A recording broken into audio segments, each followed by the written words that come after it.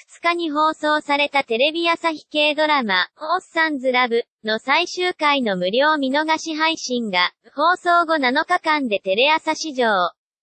最高となる121.2万回再生、テレ朝動画、シーバー、ギャオ合計を記録したことが11日、分かった。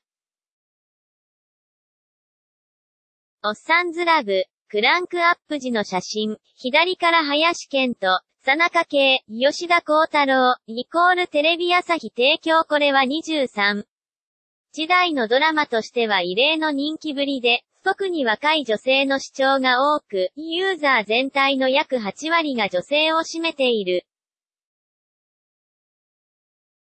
また、au の定額制見放題サービスビデオパスでも見逃し配信を実施し、1000話で初登場1位に。アベマ TV で6月3日に全話を一挙配信した際には、視聴数123万を記録した。また、6月5日に発売された LINE 公式スタンプは、スタンプショップのランキングでいきなりの1位を獲得。10月5日に発売される DVD。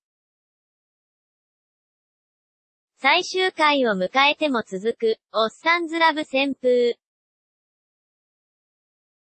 今回の土曜ナイトドラマ、うわくは昨年10月に誕生したばかりで、制作サイドは、地上波放送だけでなく動画配信や SNS など様々なアプローチで若い視聴者の皆さんに楽しんでいただくよう、これからも個性的な企画にチャレンジしていきます、と意気込んでいる。本記事は掲載時点の情報であり、最新のものとは異なる場合があります。